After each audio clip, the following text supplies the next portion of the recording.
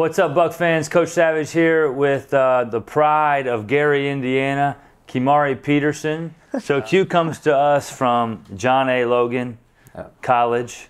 The, the Vols, the Logan Vols have been very good to the ETSU Bucs, and we've had some great players come before you from there, Devontavious Payne and Dede Sloan and and uh, Vonnie Patterson. So you carrying the torch for those guys and for, for Logan. Who is the most influential person in your life? Would you say? Who's your Who's your hero? Uh, I would say my father. Uh, just just seeing a like he doesn't complain about nothing. Like he goes to work like all day basically. Um, just to see the things he went through in his life and how he persevered and just became a better person. What's your favorite thing? What do you like the most about ETSU?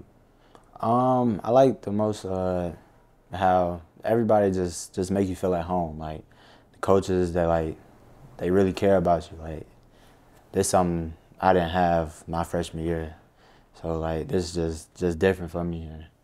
It's just made this. I mean, made this just more fun. Like just to be here and compete with y'all. And uh, favorite basketball memory?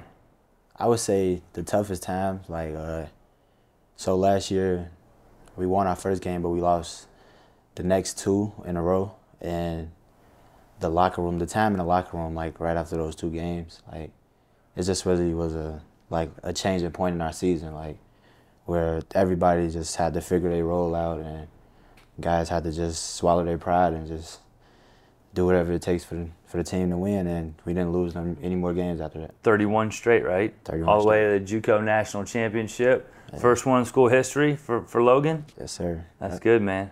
All right.